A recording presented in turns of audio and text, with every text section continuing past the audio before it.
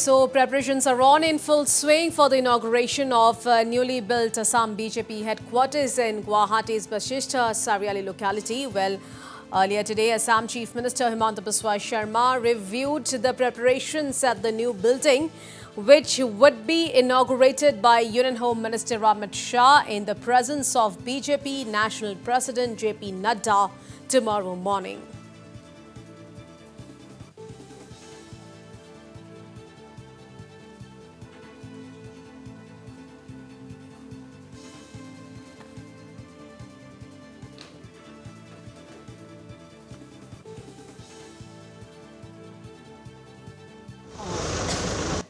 ভাৰতীয় জনতা পাৰ্টী আজি ভাৰতবৰ্ষৰ ভিতৰতে নহয় ৰাজনৈতিক দলসমূহৰ ভিতৰত বৃহৎ দল এক নম্বৰ দল।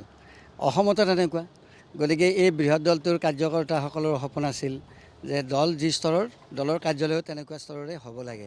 এই কাৰ্যালয়টো আচলতে বা পূৰ্বৰ কাৰ্যালয় কেইটাৰ দৰে এই কাৰ্যালয় আমাৰ বাবে ভাৰতীয় জনতা পাৰ্টীৰ প্ৰতিগৰাকী কাৰ্যকৰ্তাৰ বাবে একো একোটা মন্দিৰ।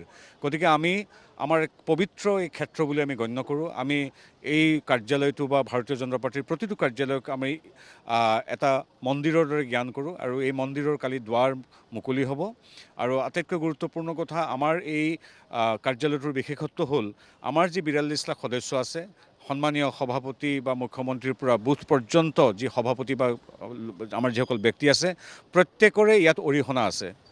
আমাৰ ইয়াত আৰ্থিক বৰঙণিয়ে হওক বা অন্যান্য ক্ষেত্ৰত সহযোগিতা হওক আমাৰ প্ৰতিটো কাৰ্যালয় প্ৰতিটো এনেধৰণৰ নিৰ্মাণ কাৰ্যই হওক বা অন্যান্য আন্তঃগাঁথনিমূলক কাৰ্যই হওক প্ৰতিটো ক্ষেত্ৰতে শুভাকাংক্ষী আমাৰ সদাশয় ৰাইজ। মূলতঃ ভিতৰৰ কথাটো আজি অলপ অলপকৈ ক'ব কৈছোঁ।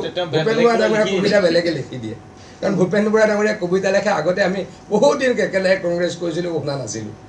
কবিতা লিখি দিয়া মানুহ আছে কাৰণে কবিতা লেখে। গতিকে বেলেগৰ কবিতা লৈ এনেকৈ হাঁহিয়তাৰ পাত্ৰ নহওক। মই ভূপেন বৰা